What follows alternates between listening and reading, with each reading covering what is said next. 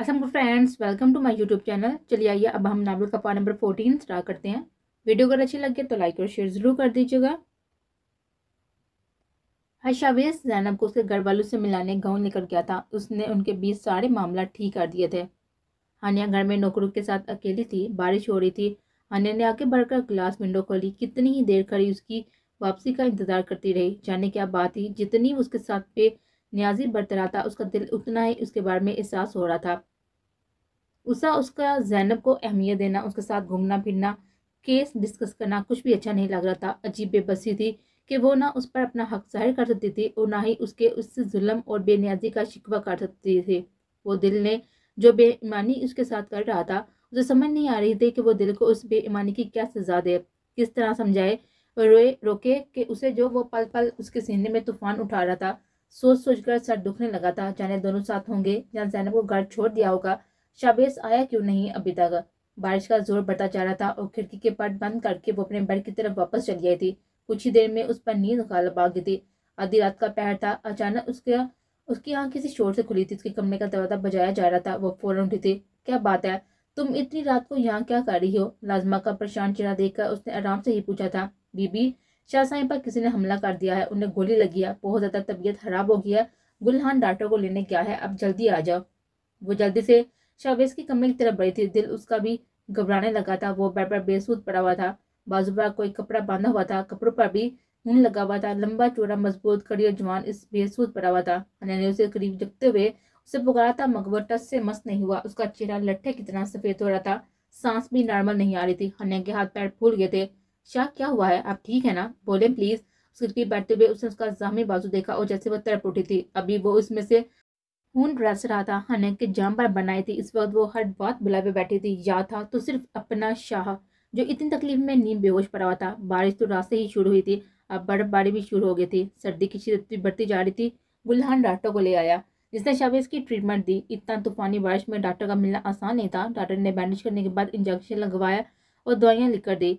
गोली छूका गुजरी है फ़िक्र की कोई बात नहीं है, कुछ ही देर में ये होश में आ जाएँगे। उन ज़्यादा बह जाने की वजह से ये बेहोश हो गए हैं। बाकी आप ये टैबलेट मंगवा लीजिएगा। मुलाजमा को उसने जाने का कह दिया था। खुद वहीं पर करीब बैठी हुई, उसके बाजू पर लगा हुआ खून साफ़ करने लगी। शर्ट बैंडेज की वजह से गुलहान ने उतार दी थी। अब खामोशी से उसके करीब बैठी हुई बालू में उंगलियाँ पहनने लगी। शाहवेज नीम गुदगी में ही वो बड़बड़ा रहा था इंजेक्शन का असर था। क्या चाहिए शाह बोले? वो, हनी, ना जाओ। हनी ने उस पर झुका गौर से सुनने की कोशिश की थी। शाह मैं यही हूँ, आपके पास कहीं नहीं जा रही। शाहवेज ने अपना सर उसके गोद में रख लिया था, फिर दोनों मज़बूत बाजू से कमर के गिर बांधते हुए उसे खुद के करीब करने लगा था। जैसे उसे डर हो, वो दोबारा उसे दूर चली जाएगी। अभी उसकी हड़बड़ाहट जारी थी, जो वो बहुत ही गौर से सुनने के बाद भी समझ नहीं आ रही थी। उसने हानिया का हाथ अपने दिल के मुकाम पर रखा था इसकी तेज तक तक हानिया के हाथ से होती हुई कान में गुंज रही थी। हानिया दरते दिल के साथ सांस रोक बैठी थी। आहिस्ता आहिस्ता वो फिर से गहरी नींद में चला गया था, मगर उसका सर अभी हानिया के गोद में था। और अभी भी उसी पोजीशन में था। हानिया ने नींद दराज होते हुए अपनी दुखती कमर सीधे करते हुए पीछे तक क्या रखते हुए थोड़ी सी नींद दराज हुई थी। इसी पोजीशन में कब उसकी आँख लगी उसे पता ही ना चला। अजीब से एहसास की वजह से शाबिज की आँख खुली थी तो छानिया उसके बेहद करीब थी। बेतरतीब से करवट के बाल बिना ब्लैंकेट के सो रही थी। वो अपना एक इंच के पास पर उसका खूबसूरत मासूम चेहरा हैरत से देखे क्या था। हाथ पर पट्टी बांधी हुए थी। उसे लगा जिसका वहम है जो इतने दिल से दिमाग पर सवार है जिसने फिर एक बार उसका चैन सुकून लूट लिया था। जिसे बेचैन से उसका दीवाना था। ये लड़की क्या थी जो हर गलती, हर बात भुला देती थी? क्यों उसे भूल नहीं पाता था? क्यों उससे नफरत नहीं कर पाता? हर बार उसकी मर्दाना अनाही उसे क्यों उकसाती थी कि वो कैसे एक औरत के सामने कमज़ोर पड़ता है? वो हमेशा उसे हाकम रहा है। लोग उसे डरते खौफ खाते, मोहब्बत में उसकी तारीफे के पल बांधते थे। उसे तो हमेशा से अपनी तारीफ़ सुनने की आदत थी।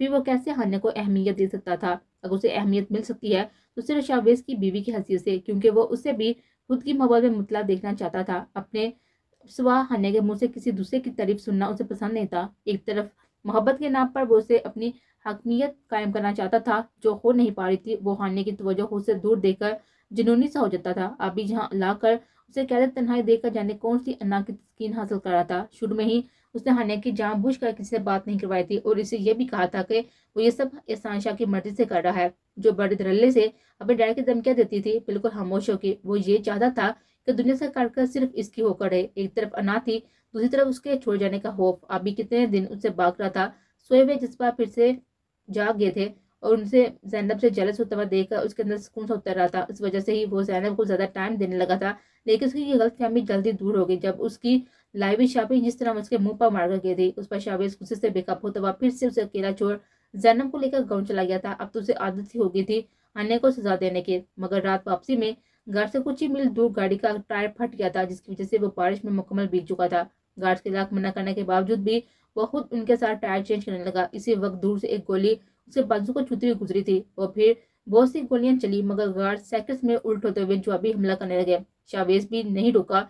गोली लगे हाथ से ही बराबर खुद भी फायर कर रहा था। इसी वजह से उसका खून ज़्यादा बह गया था। अब वो नींद बेहोशी में था। गार्ड्स ने फ़ौरन उसे घर पहुँचाया था। उसके बाद उसे होश नहीं था। वो हानिया का लम्स पहचान गया था। उसे बे खुद तबा उसके सुकून हासिल कर रहा था। एक सरूर था जो सर चढ़कर बोल रहा था। इस वक्त भी उसके सामने देखकर मदहोश होने लगा था। आँखों में नशा सा उतरने लगा था। मगर खुद को रोका हुआ था। अगर वो जरा सा भी बहता तो हानिया के सामने उसका भरम टूट जाता और उसका रद्द अमल तो शॉपिंग करके ही देख चुका था तो फिर करीब आने पर कितना बेजत करती उसे। उसे देखता हुआ सोच में घूमता जब इसी वक्त शाहबेज का दिल उछल हलक में आया था। हानिया को सर्दी लग रही थी, वो नींद में ही सर्दी से बचने के लिए शाहबेज के करीब होने लगे। शावेज के होश उठ गए थे हने का नर्म, गर्म सा गुदास वजूद उसके लिए किसी इम्तिहान से कम नहीं था।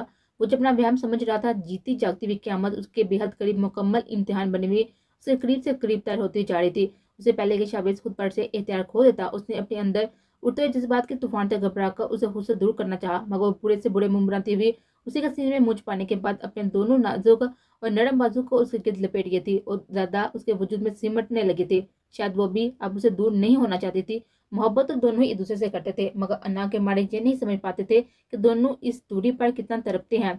शाबेज का सब जवाब दे गया था। उसकी सारी मज़बूत अन्ना बेनियाजी वो सब दड़ी की दड़ी रह गई थी, इसलिए उसका दिल, उसके असाब, उसके कंट्रोल में नहीं थे, ज़िंदगी उसके बाहों में थी, और इसमें हरगिज इतना हौसला नहीं था कि वो बाहों में सिमटी अपनी मोहब्बत ज़िंदगी को दुदकार कर दूर कर देता इस वक्त उसे यह दिया था कि उसकी बाहों में उसकी मलकियत, उसकी शरी व कानूनी बीवी है, शाबिज पर झुका था, उसके चेहरे के एक नक्श को दीवानों की तरह बड़ी मोहब्बत और नरमी से छूने लगा।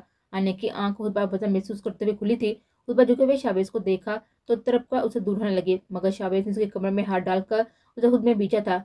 शाह, ये ये शाहबेज की इसकी बात पूरी होने नहीं दी थी क्योंकि वो आज उसके सुनने के मूड में नहीं था। वो मुकम्मल, मदहोश और बेसुद्ध हो चुका था और उसे भी बेबस काट चुका था और उसे ऐसे छू रहा था जैसे मोम की बनी हो। अपनी मोहब्बत और अपनाएँगे थी उसके अंदाज में कि हानिया को भी खुद को अपने शोर के हवाले करते हुए पुरसकून होगी कि वो सिर्फ़ उसी का ही तो है। उसकी, आज ये दुनिया खत्म हो जाएँगी तो उसके बीच कोई नहीं आ सकेगा। फजह की अजान के करीब शाहबेज की आँख खुली तो हनीस के सर पर सर रखे हुए सुकून की गहरी नींद सो रही थी। उसने झुक उसकी पेशानी चुमी और फिर ना चाहते हुए भी नहायत नरमी से उसे खुद से अलग करते हुए बिस्तर से निकला था और वो खुद को बेहतर महसूस कर रहा था। ये मामूली जाम था, उसकी वो परवाह नहीं करता था। नमाज़ फजर अदा करने के बाद वो अपनी रोज़मर्रा के काम करता हुआ ऑफ़िस के लिए निकल गया था। हानिया अभी तक सो रहे थे। हेलो शाह साई, आप कहाँ थे? रात से मुझे बहुत ही फ़िक्र हो रही थी। मुलाजमा ने बताया, आप पर हमला हुआ है। वो ऑफ़िस में था जब जन्नब की कॉल आई थी। वो गाँव से वापस आ गई थी। आते उसने हानिया को शावेज के कमरे में सोता देखकर पागल होने लगी थी। अभी बड़े हक से पूछ रहे थे, नहीं अब ठीक हूँ? शावेज के होंठों से मुस्कुराहट जुदा नहीं हो रही थी। आज पूरा दिन उसका होशगवार गुजरा था। अब बस घर जाकर हानिया को देखना चाहता था, जो सुबह सो रही थी। मुलाजमा के मुताबिक दोपहर में उठी थी। रात उसके लम से खुद को सिराब करने के बाद भी तिचकनी थी जो बढ़ती जा रही थी। शावेज जानता था कि उसे कितनी बदगुमान है। वो फिर भी कल रात उसने ज़ुबान से अपनी मोहब्बत का इजहार नहीं किया था, मगर वो ये नहीं जानता था कि कितनी बड़ी गलती कर बैठा है। अब ज़िंदगी दोबारा उसे ये मौका नहीं देने वाली थी। वो जो इसका इश्क थी, उसकी मोहब्बत, जनून, दीवानगी थी, और ये बात उसकी जान को मालूम हो जाना चाहिए। एक दिन में कैसे ठीक हो सकते हैं? रात, दुआ और शफा ही ऐसी मिली थी कि सालों की बीमार रूह को भी इलाज हो गया। जैनब का दिमाग घूमने लगा था। उसकी बातों से बहुत कुछ समझ कर भी वो उसको तसली दिला से दे रही थी। ऐसा कुछ नहीं है। सुबह हानिया की आँख खुली तो वह शावेज के बेडरूम में उसी के बेड पर पाया। उसने पूरी आँख खोले घबराते हुए उठ बैठी। इधर उधर देखा, जब उसे एक ही लम्हे में बीती हुई रात के लम्हा याद आए थे। सारी रात जब मोहब्बत के फूल शावेज ने उस पर लुटाए थे, इन फूलों की खुशबू अभी भी खुद में महसूस कर रही थी। रात जो कुछ भी हुआ था, वो उससे इनकारी नहीं थी। उसने मुकम्मल दिली रतमंदी से अपने, आप अपने शो को सौंपा था। रात उसने शावेज का एक बिल्कुल नया और अनोखा रूप देखा था। कल रात शावेज के हर अंदाज में उसके लिए मोहब्बत महसूस की थी। उसकी दीवानगी, उसकी शिद्दत सिर्फ़ हानिया की थी। उसकी बेकरारियों ने हानिया को आसमान की बुलंदी पर बिठा दिया था कि वो उसका है, उसे ही मोहब्बत करता है। जैनम तो बस हमदर्दी है। अभी दिन के तकरीबन बारह बज रहे थे। उसे भूख भी जोरों की लगी हुई थी। एक भरपूर अंग्राई लेते हुए बाथरूम में बंद हुए थे। रेड पैर तक आते हुए फ्राक में अपने कमर तक आते हुए गोल्डन ब्राउन सोने के तारू जैसे बाल पुष्ट पर खुले छोटे हुए फ्रेश सिहानियाँ बेहद खूबसूरत लग रही थी। इसी वक्त वो मुस्कुराते हुए किचन में आई थी। मुलाजमा को नाश्ते का बोलने जब जैनब ने पलट कर उसको देखा तो वहीं पर साकत हो गई थी। वो अल्लाह की इतनी खूबसूरत रही थी। वैसे भी उसका मुकम्मल पड़ी जैसा हुसन बिल्कुल भी नजरअंदाज करने के काबिल नहीं था, मगर इस वक्त कोई कोई बड़ी, कोई फूलों की शहजादी लग रही थी। ऐसा लग रहा था कि रोशनियाँ फूट रही हैं उसके आसपास से, उस पर हाने के लबू पर शर्मिली मुस्कुराहट जैनब को कुछ गलत होने का सिग्नल दे रहे थे।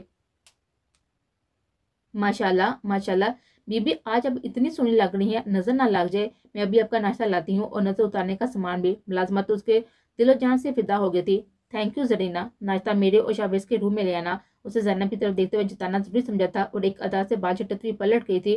दूसरी तरफ़ जैनब को आग लगी थी। उसका दिमाग तेज़ी के साथ शैतानी मनसूबे बनाने लगा। मैं इतनी आसानी से हार नहीं मान सकती। ये मुझसे शावेज को नहीं छीन सकती। कुछ सोचते हुए मुलाजमा से नाश्ते की ट्रे लेके हाने के रूम में आई थी। क्या मैं अंदर आ सकती हूँ? हाने ने उसकी आवाज़ पर चौंक उसको देखा था, जो नाश्ते की ट्रे लिए खड़ी थी। तुम? मुझे आपसे कुछ ज़रूरी बात करनी थी, मगर आप शायद मुझसे किसी बात पर नाराज़ हैं या शायद मुझे पसंद नहीं करती। बड़ी प्यारी मुस्कुराहट के साथ कहती हुई टेबल पर नाश्ता लगाने लगे।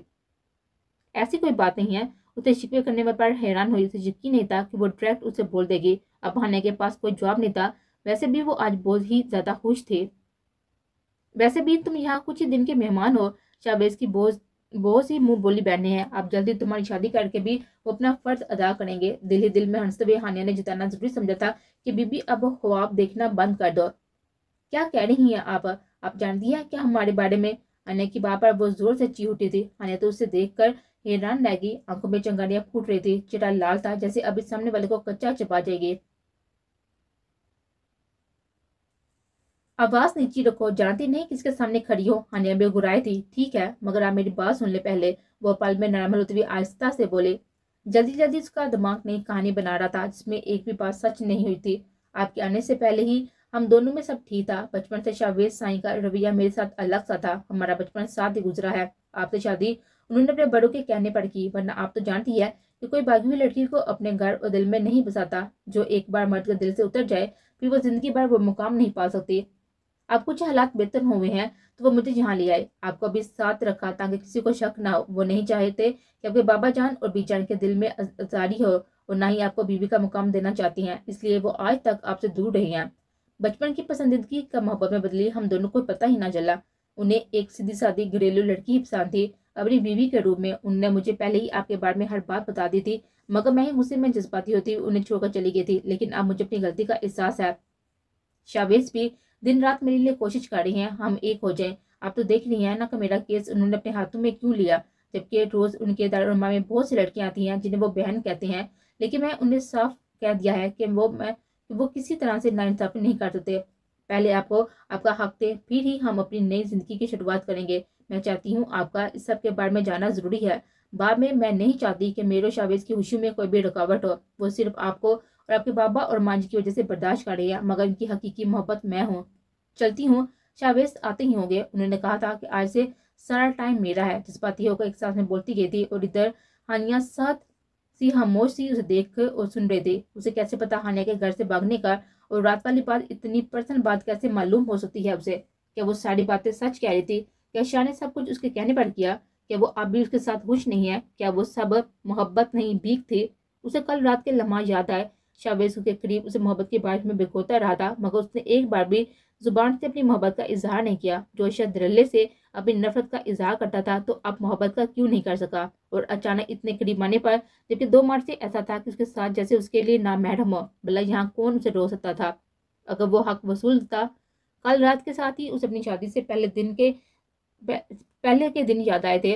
कैसे उसे नफरत का इजहार करता था, यही सब कुछ तो कहता था जो आज जन्म ने कहा। दूसरी तरफ़ जैनब अपना काम करते हुए आग भड़का चुकी थी। अब उसे इस आग में तेल डालने का काम करना बाकी था। जब उसने बात शुरू की तो हाने के चेहरे के तासरात पाई उसकी नज़र थी कि तीन निशाने पर लगा है या नहीं। हाने के दिल को कुछ हुआ था, अपने नुकसान का शिद्दत से एहसास हुआ। जो एक भरम था, वो भी आज कायम न रहा। उसके अंदर तूफ़ान से उठ रहे थे। वो जो रात से हवाओं में उठ रही थी, एक झटके से ज़मीन पर आ गिरी थी। वो जैनब के साथ ही क्लोज ना होता तो उसके आने के बाद जो नज़रअंदाज करता, और अब जबकि वो यहाँ नहीं थी तो उसके बाद ही हाने के करीब आया, चोरों की तरह। और अब सुबह से फिर से अजनबी बना वो आपस में बैठा था। पिछले तीन दिनों से उसे कोई बेकार शायद समझे, कोई अहमियत देने को तैयार नहीं था। सारा वक्त इस लड़की के साथ गुजारता, उसकी दिल जोई करता रहा था और वो सदा की पागल लड़की ने जरा सी मोहब्बत और अपनाइत मिलने पर एक पल में सब बुलाते हुए अपना सब कुछ इस शख्स के हवाले कर दिया। क्या मैं आज सही मैनू में बर्बाद हुई हूँ? दुनिया में क्या हसीियत थी इसकी? क्या उसे क्या बन गई हूँ? माँ की भी ज़रूरत, बाप की भी और अब शोहर की भी एक ज़रूरत ही बन गई थी। क्या क्या ख्वाब थे उसके डॉक्टर बनने के अपने हॉस्पिटल बनाने की जिसको बुलंदी तक लेकर जाएगी। उसे अपने नुकसान का शिदत से एहसास होने लगा। पूरे जिसम में एक दर्द की लहर उठी थी, जिससे वो नंडाल होते हुए नीचे बैठे पिलक पिलक कर रो पड़ी थी। ज़िंदगी ने कितना मुश्किल दुराहे पर लगा खड़ा कर दिया था। याद करने से भी उसे कोई ऐसा गुनाह याद नहीं आ रहा था, जिसकी इतनी बड़ी सजा हो। ना ही यहाँ से जा सकती थी, ना ही रह सकती थी। उसे कोई भी रास्ता दिखाई नहीं दे रहा था। कोई भी नहीं था उसका दुनिया में, वो अकेली थी। अब वो खुद तरसी का शिकार होती बोले जा रही थी। जहाँ इतबार भरोसा ना हो, वहीं लोग फ़ायदा उठाते हैं। उनके बीच आसानी के साथ गलत फहमियाँ पैदा करते हैं। जैसा कि दोनों के साथ हो रहा था। उनके रिश्ते का हकीकी, हकीकत जितनी सबके सामने थी, यही आग लगाने को काफ़ी था। अब बस आधी उम्मीद उसके शावेज ही था। शायद वो कह दे कि सब झूठ है, ऐसा कुछ भी नहीं है। वो आज भी उससे ही मोहब्बत करता है।